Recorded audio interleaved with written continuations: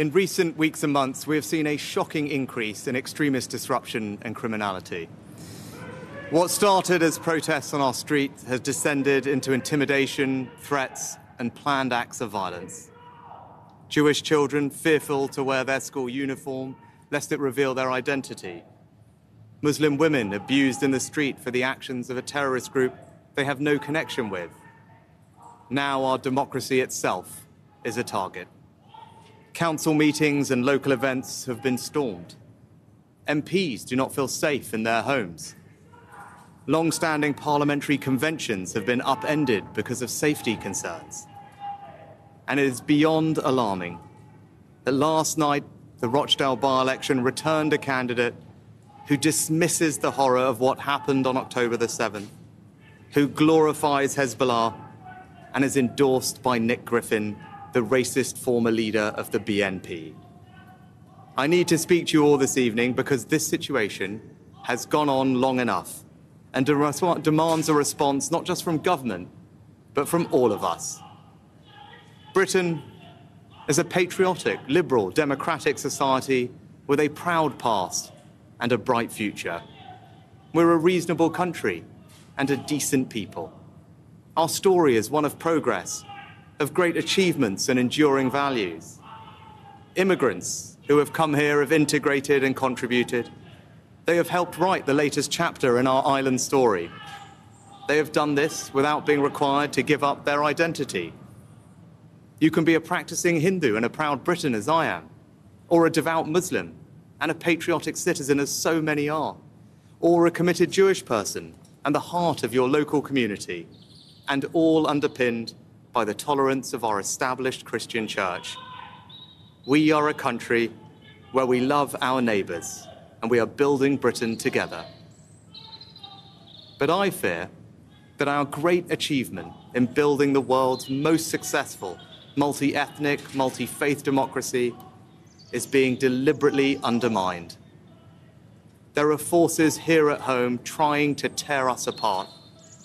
Since October the 7th, there have been those trying to take advantage of the very human angst that we all feel about the terrible suffering that war brings to the innocent, to women and children, to advance a divisive, hateful ideological agenda. On too many occasions recently, our streets have been hijacked by small groups who are hostile to our values and have no respect for our democratic traditions. Membership of our society is contingent on some simple things that you abide by the rule of law and that change can only come through the peaceful democratic process.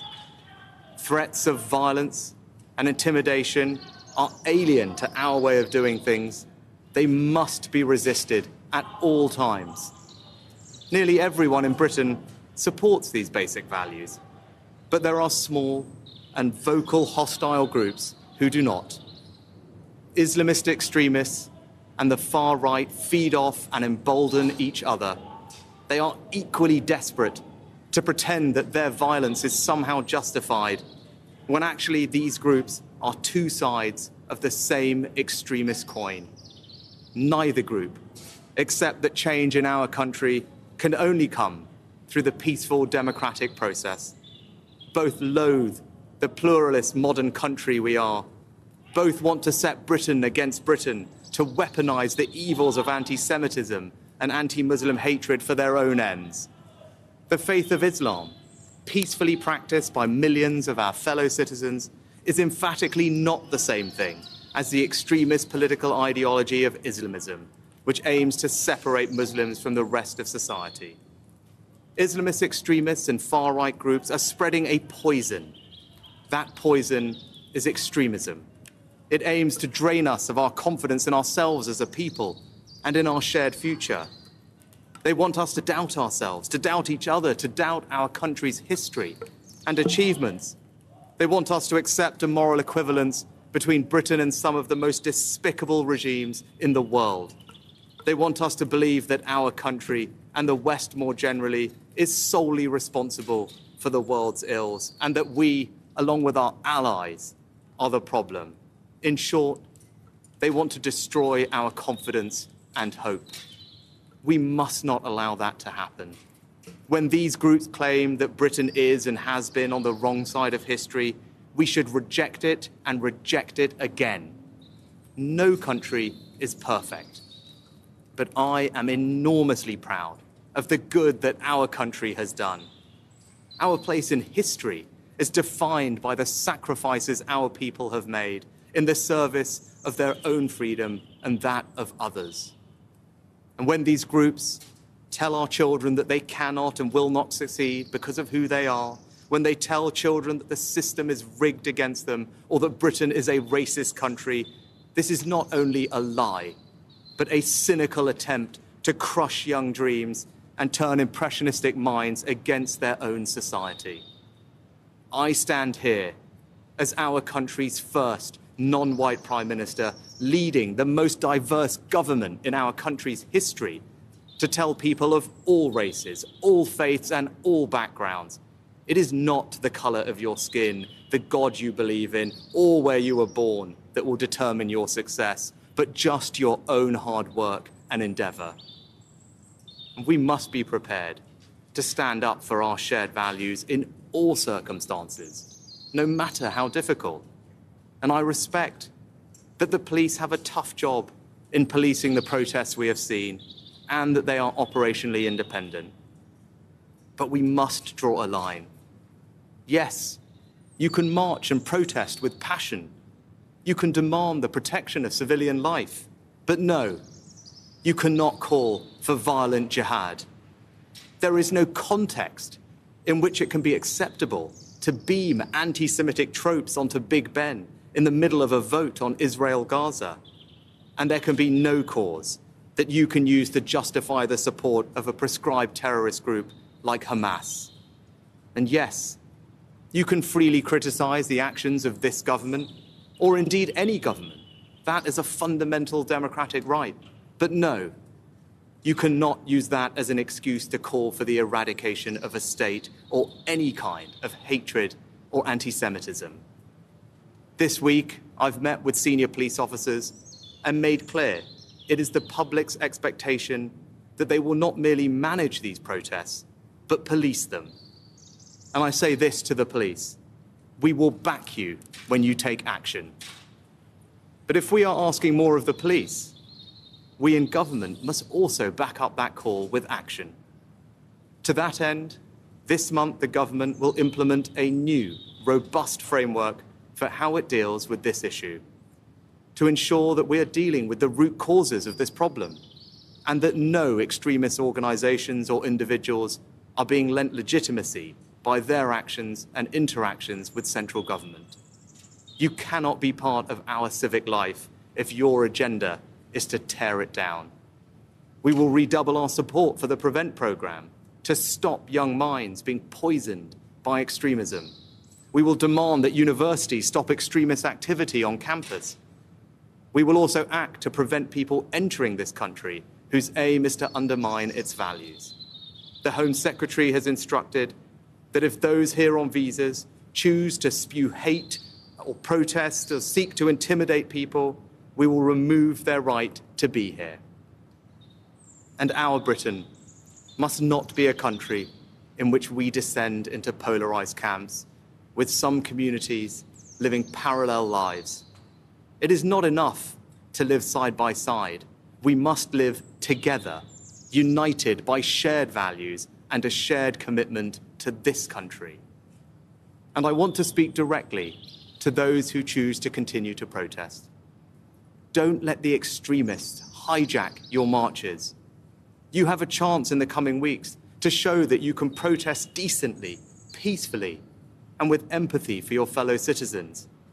Let us prove these extremists wrong and show them that even when we disagree, we will never be disunited from our common values of decency and respect.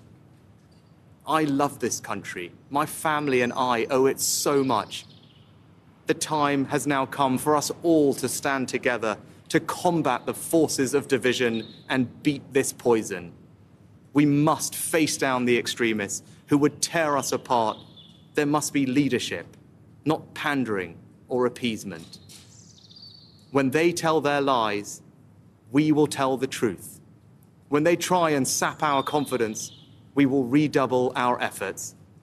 And when they try and make us doubt each other, we will dig deeper for that extra ounce of compassion and empathy that they want us to believe doesn't exist, but that I know does. If we do that, we can build on our great achievement in creating today's Britain, a country of kind, decent, tolerant people. We can make this a country in which we all feel a renewed sense of pride. This is our home. So let us go forward together, confident in our values and confident in our future.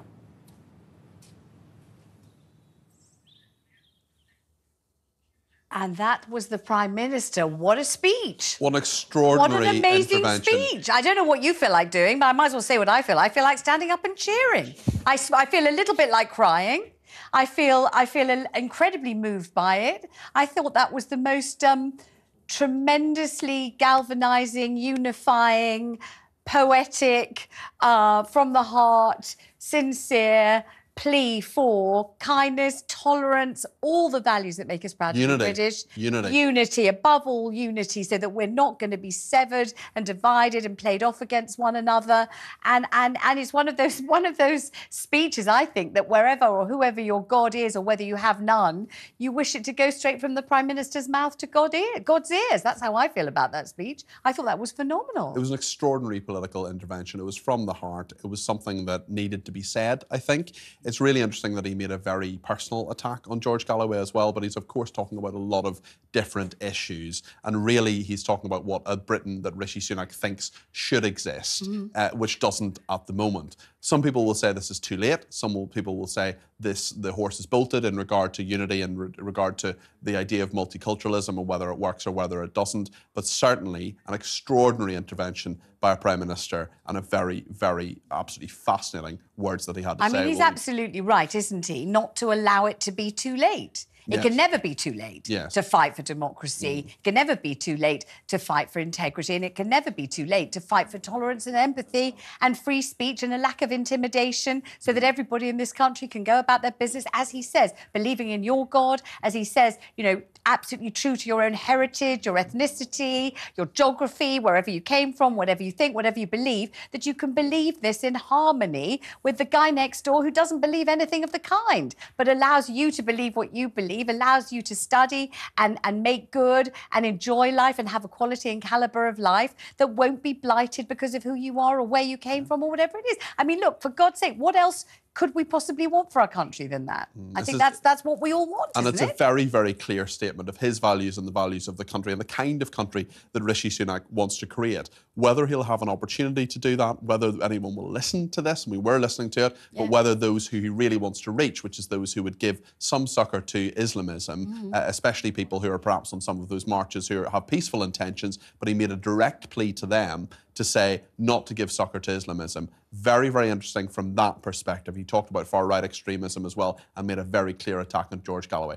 Absolutely fascinating. I mean, what's going to happen, isn't it, is that every single part of that speech is going to be deconstructed and examined and debated and discussed, and there's going to be discourse, and I hope it's going to be peaceful. I mean, one of the things he said that I could hear was immensely controversial, even when he said it was, you know, that it will not be your race, it will not be your background that holds you back in Mm. this country. It won't be that. If you work hard, you will succeed. Now, there are going to be people listening to that saying, but that's just not true. Oh, people will talk Not- about structural not- racism. Not people a level talk about playing field. There- there's a vogue to say that Britain is a racist country. Yeah. Many, many people, including me, disagree with that per se. There's a lot here that many people will disagree with. George Galloway, as well, I'm sure, will be out of the stocks, probably on Twitter already, Mm-hmm. Yeah. saying this is desperation. This is how scared the political establishment is of him. Uh, I would imagine he will make political capital out of it as well. It'll be absolutely fascinating to, to see what me, though, it didn't sound like a scared man who was frantically, Mm. you know, peddling beneath the surface, or paddling beneath the surface to keep keep himself looking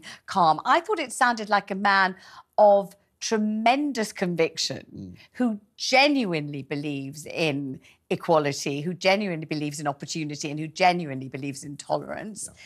Trying to say with absolute statesmanship and conviction. Look, this is what we're all aiming for. Mm. This is what we want. This is the country that we want to be proud of. So don't allow it to dismantle, not just under his watch, but under all our watches. You know, we're collectively responsible for this. So we must not collude in dismantling all the things we really care about. And I thought he said it absolutely excellently. Did you know? He that? said it very, very defiantly, certainly, and many people. A lot of what he's saying will resonate with a lot of people. The question is, is it too late? And also, why is he making it now? What is the motivation now? He will say, of course, that it's because of the last few weeks, it's because of what's happened since the seventh of October, and because of what. But the most recent major political event is, of course, the Rochdale by-election, and there will be some people who will say, yes, he sounded very defiant. He was very uh, straightforward in what he was saying, and he was clearly very passionate. But in terms of saying it now, I think people will say, and, and George Galloway will certainly say that he's running scared of George Galloway, which is a really, really interesting position for the Prime Minister of this country to be in. one of the most eminent and sagacious